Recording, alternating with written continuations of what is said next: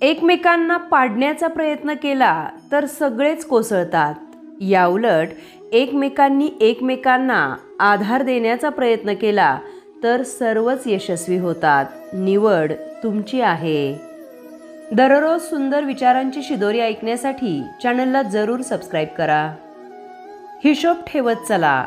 लोक तुम्हाला लवकरच विचारतील की तुम्ही माझ्यासाठी नेमकं काय केलं आहेस? लोकांचं जाऊ द्या. तुमची मुलंही उद्या तुम्हाला विचारतील की माझ्यासाठी काय केलंय. तेव्हा त्यांना सांगण्यासाठी तरी किमान हिशोब ठेवत चला. स्त्री तारुण्यात बायको बनून विभक्त होण्याचा हट्ट धरते आणि उतारवयात सासू बनून कुटुंब एकत्र राहावं यासाठी धडपड करते. एकटी सुई टोचण्याचं काम करते तिला सांभाळून ठेवावी लागते. पण जर या सुईच्या सोबतीला दोरा आला की ती सुई शिवण्याचं काम करते. वाईट माणसांच्या संगतीत सद्गुणी माणसं आली की वाईट व्यक्तीही सुधारणा करू शकतो. चांगले काम केल्याने कोणी तुमचा सन्मान करो किंवा न करो पण तुमचं अंतर्मन नेहमी तुमचा सन्मान करेल. ज्याचं जसं चरित्र असतं तसेच त्याचे मित्र असतात. शुद्धता तर विचारांमध्ये असते. माणूस कुठे पवित्र असतो? फुलात सुद्धा किडे असतात दगडात सुद्धा हिरे असतात. वाईट सोडून चांगलं बघा माणसासुद्धा तुम्हाला देव दिसेल. नाती सांभाळताना कधी कधी आंधळं मुक तर कधी बहिरं पण व्हावं लागतं. आजकाल खूप काही मिळवून सुद्धा माणसं खळखळून का बरं हसत नाहीत? कदाचित मिळवलेलं गमावण्याची भीती असावी किंवा आणखी खूप काही मिळवण्याची अभिलाषा माणसाला हसू देत नसावी. अशी न हसणारी माणसं खूप श्रीमंत असतात पण अजिबात सुखी नसतात. बोलताना उत्तम तानसेन ऐकताना उत्तम कानसेन होण्यासाठी इतरांचं बोलणंसुद्धा शांतपणे ऐकण्याची तयारी ठेवा. यशस्वी माणसाला एक गोष्ट सतत करावी लागते आणि ती म्हणजे संघर्ष. सुरुवातीला यश मिळविण्यासाठी करावा लागतो आणि नंतर मिळालेलं यश टिकवून ठेवण्यासाठी करावा लागतो. माणूस फळं सोडून वडापाव सामोसे खात असतो आणि मग तो आजारी पडून दवाखान्यात जाऊन बसतो.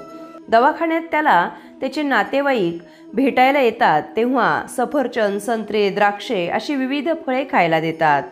आणि नातेवाईक दवाखान्याच्या बाहेर बसून वडापाव सामोसे खातात आणि पुन्हा ते दवाखान्यात जाऊन बसतात. हे जीवनचक्र आहे. बाकी सगळी मोहमाया आहे. हे चक्र कायम असंच चालू राहणार.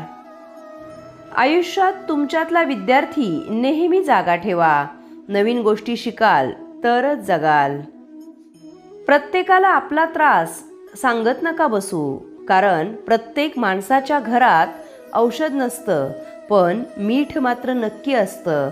तुमचा त्रास कसा वाढेल हे जरूर पाहिलं जातं. जीवनाची पाच नीतितत्व कायम ध्यानात ठेवा. बोलण्याआधी ऐकायला शिका. खर्च करण्याआधी कमवायला शिका.